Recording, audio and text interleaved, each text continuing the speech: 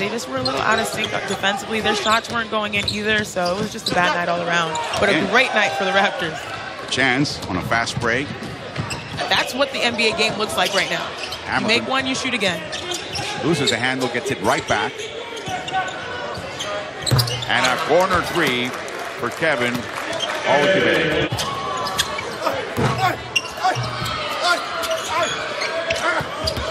loses the handle against Jones. A reset. Olekaibe with the bucket. Parantes. Olekaibe launches a three. There it is. I love his patience. A strip. Quick move.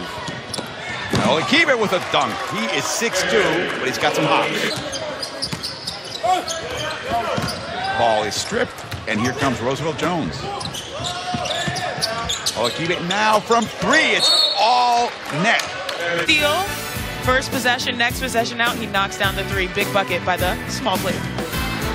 Saw Ronde play in Mexico, beat the OKC Thunder as we see. Another dunk. Yes, the second one up the game. Practices them, and he's getting very good at it. Kevin Olekaibe. All packages, Kevin Olekaibe slams it down, and then I've had a great opportunity to play against the Cleveland Cavaliers. Granted, it was a blowout, but still, they, they kept the offense going. They found the open man, and then when it was their time, they knocked down the shots. It was really refreshing to see. No spacing here for the Suns. Nope. And they lose the ball. Once again, it's Kevin Olekaibe. Contact and finally a foul setting, but it also speaks to what he was saying, how it's a major cosmopolitan city with population from all over the world. Right, Akil? Players are now trying to build their brands, and, and there's no competition for any other NBA team here in Canada. You're the man here.